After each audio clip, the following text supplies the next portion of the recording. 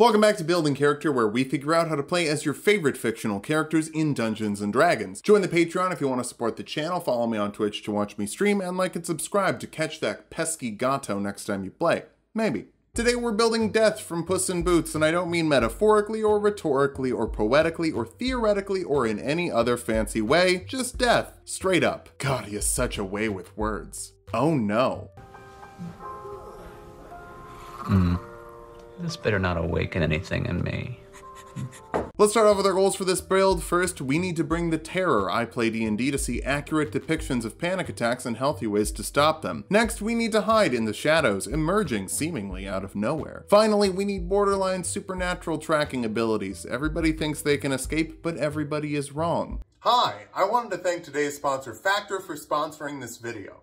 Factor is a meal delivery service that delivers you fresh, never frozen meals to your house. After I get done working out, the last thing I want to do is fuss over in the kitchen or order takeout. Factor's meals are ready to eat in two minutes. You just pop them in the microwave and you're ready to eat them and the flavor is still there. Whatever your dietary wants or needs, Factor has something for you. I like the Calorie Smart option with flavors like sun-dried tomato and chicken fusilli with Italian herb roasted zucchini, chorizo chili mac with cauliflower and poblano peppers, or roasted garlic chicken with green beans and sour cream and onion mashed potatoes. Tell me that doesn't sound delicious. I want you to be able to try Factor too, and Factor is hooking up Tulok subscribers with a fantastic deal. Check out the link in the description and enter offer code TULOK40 at checkout for 40% off your first Factor box. Hey, summer's coming up, and I'm sure you don't want to spend time cooking. Spend time eating and doing whatever else you want. Link in the description, TULOK40 at checkout, 40% off your first Factor box. Now back to the video.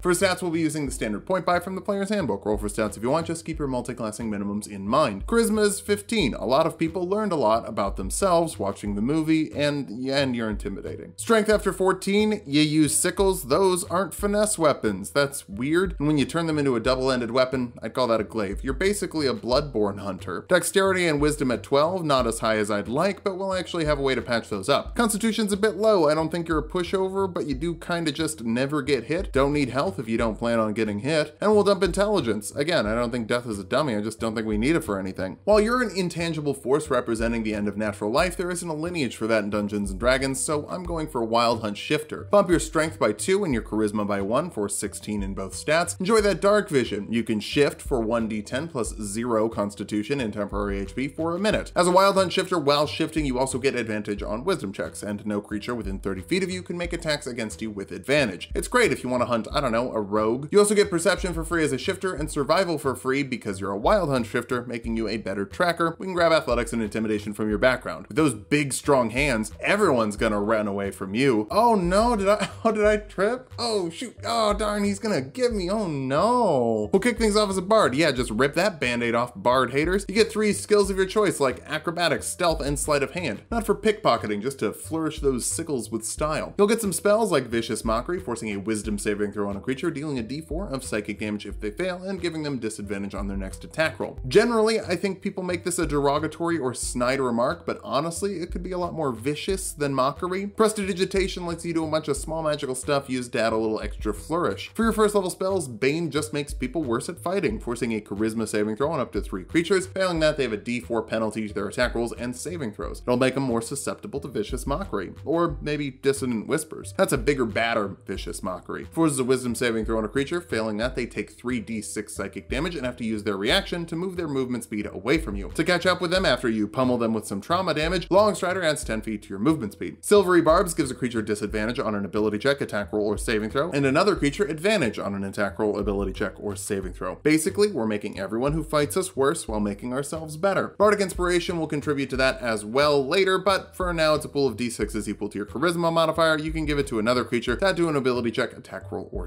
saving throw. Second level bards get Jack of all trades, letting you add half your proficiency bonus to skill checks you're not proficient with, so even those intelligence checks won't be all that bad. Song of Rest gives friendly creatures an extra d6 of healing on short rests, but I'm guessing the creatures you'll be helping sleep are gonna take long rests. Very, very long rests. Third level bards get expertise in two skills. We're gonna go for intimidation and survival for better tracking and startling. More importantly though, we can choose a bardic college. College of Whispers lets us turn that terror up. Psychic Blades lets you add 2d6 psychic damage to an attack roll by spending a Bardic Inspiration die. Save it for a crit, and that's 46. Sure, sickles are terrible weapons, but if you can add 46 extra damage of a type that isn't commonly resisted, that's pretty good. Words of Terror lets you force a Wisdom saving throw on a creature you've been chatting with at the bar for at least a minute. After that, they're frightened of you or another creature for an hour, or until they are attacked. Which, yeah, that's not actually all that good if you want to hunt people. But if they pass the Wisdom saving throw, they don't know you actually tried to scare them, so there's no real risk to it. They might feel slightly different emotions towards you though. For this level spell, Locate Plants and Animals lets you find a plant or an animal of a general variety or specific variety. I'd count Puss as a humanoid, but maybe your DM is a total jerk. Fourth level bards get an ability score improvement. Start with your charisma for maximum terror damage. We have a little already, but we'll get even more soon. Fifth level bards get a font of inspiration, making your inspiration die recover on short rests instead of long rests, and your psychic blades deal 3d6 extra damage instead of 2d6. You can also learn third level spells like Fear, forcing a wisdom saving throw on creatures in a 60 foot cone in front of you. Failing that, they're frightened of you and have to use their action to dash away. It's the biggest, spookiest, scariest spell. Now we're gonna get better at fighting by jumping over to Paladin, giving you proficiency with all martial weapons. If you wanna go from two sickles to the far superior glaive trick weapon, now you can do that. You also get divine sense to detect celestials, fiends, and undead an amount of times per day equal to your charisma modifier. Undead creatures need to be corrected. Nine lives is excessive. Lay on hands lets you heal a creature you touch from a pool equal to five times your paladin level as an action. You could touch other people to heal them, or you could touch yourself. You can Google that on your work computer for more information. There's a lot of very helpful fan art to help you figure out the rules of that.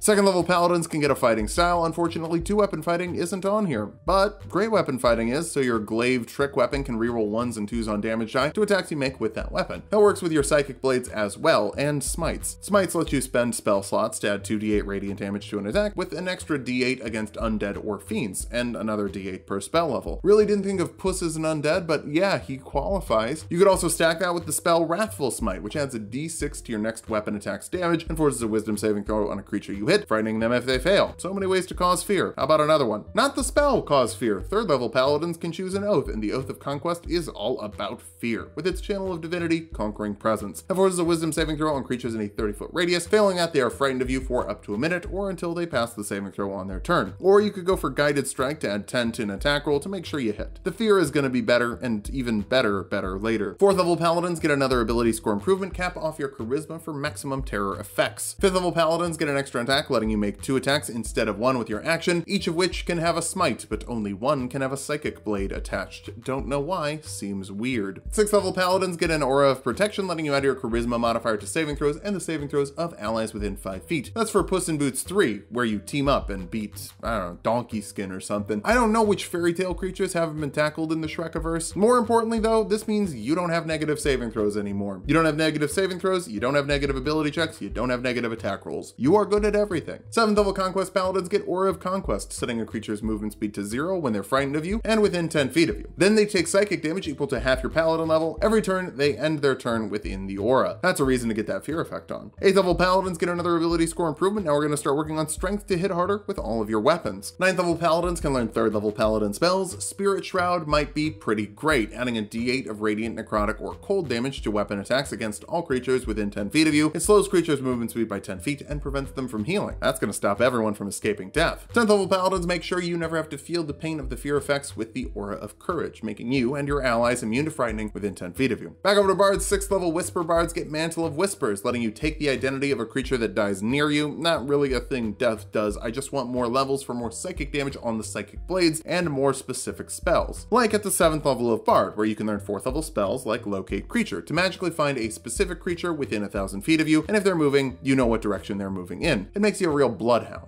8th level bards get another ability score improvement, cap off your strength for maximum ouchies, you gotta make the death. 9th level bards can learn 5th level spells. Scrying lets you find creatures and spy on them. If you have a piece of their body, like fur or claws, you're able to find them better, or if you have a likeness of them, maybe a wanted poster. It's the best way to find people. Just create your own little surveillance state. Our capstone is the 10th level of bard, and there is a whole bunch of stuff here that really makes death deathy. First, 5d6 psychic blades damage, and better inspiration, but you're probably using it for, you know, the horrifying murder. Expertise in two more skills, I think stealth and perception, so you can sneak up on other people and they can't sneak up on you. And magical secrets, so you can compel someone to duel with the best spell to do that, Wall of Fire. Compel duel forces a wisdom saving throw. That's weak stuff. Wall of Fire creates a giant wall of fire, forcing a dexterity saving throw on creatures and dealing 5d8 fire damage to those that fail, half as much to those that succeed. You can also deal that damage to creatures within 10 feet of one side of the wall. For your other spell, ah, jump, triple that jump distance. I just needed the wall of fire. Now that we've hit level 20, let's figure out how viable this build is. First, you bring that fear with a plus 17 intimidation check and so many fear effects, and five passive damage every turn to creatures who are afraid of you. You can also lock people down with Aura of Conquest and Wall of Fire to stop people from getting away, or literally lock people into the fire. Finally, you're amazing at finding people with a plus 17 to survival and perception checks, and locate creature as a virtual cheat code to find people who would hide from you. For weaknesses, I guess you don't have that much HP, only around 110, which isn't great if you want to be a melee fighter. Your AC is also pretty mediocre with 16 at best in medium armor, since you started as a bard and don't have proficiency with the heavy stuff like we would have if we started with paladin. Finally, sickles are pretty terrible. You can always use the superior glaive though. Trick weapons are better in one form FromSoft. Please make a Puss in Boots game. Overall, this is a really solid build. Bardadin is great, and combining the fear effects of a Whispers Bard and a Conquest Paladin just really puts that panic in. Just make sure your pursuit of your prey doesn't lead them to